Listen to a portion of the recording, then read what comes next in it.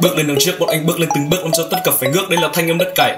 Chúng mày hằng ước, chúng mày cứ mơ có được thành công như bảo thành tích trước anh cứ ta hàng ngày. Work hard no sleep, bọn anh đạt lấy danh vọng. Đối đầu bọn anh như mùa đông, làm mạch cáo Làm hay đều phải đứng trâu, nhưng mà trời lúc hướng đông, bọn anh ở level khác nơi tụi mày vẫn hàng mau. Mang cho đầu là ý chí. Time for study chưa bao giờ để phung phí.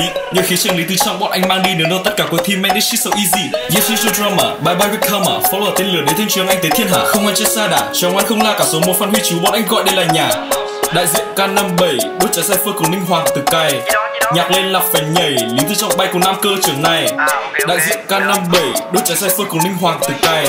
Nhạc lên là phải nhảy Lý tư trọng bay cùng nam cơ trường này. Lý là lý tưởng có danh tích vào trong họ. Từ là tự hào về bản sắc của dân tộc Trong là trọng nghĩa phải cố gắng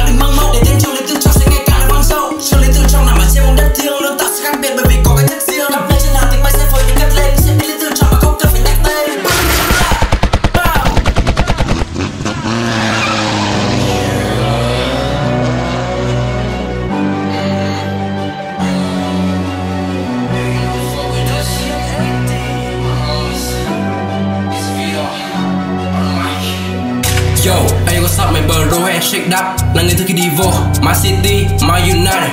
Hai giờ anh vẫn còn đang thức Để đồ thị sang cày một tin. Khi này mấy mấy đề IELTS Youtube vẫn còn vạn người theo Bỏ cuộc sau nhưng có số vẫn upscale Vẫn còn vạn người theo Trách nhiệm trên vai còn đeo Ra đời vươn trải lên tầm cao. Tình yêu mai không phải trong tao. Gia đình, quê hương Xa xăm cả thành tao thương.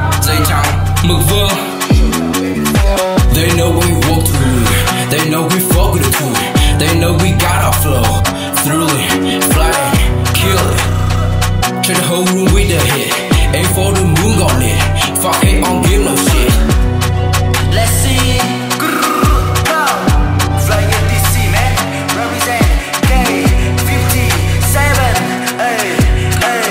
Eh? Ah. Đừng hỏi kiến thức và thành tích của môi trường là từ trọng vì hiện nay nhìn thấy đó, các chất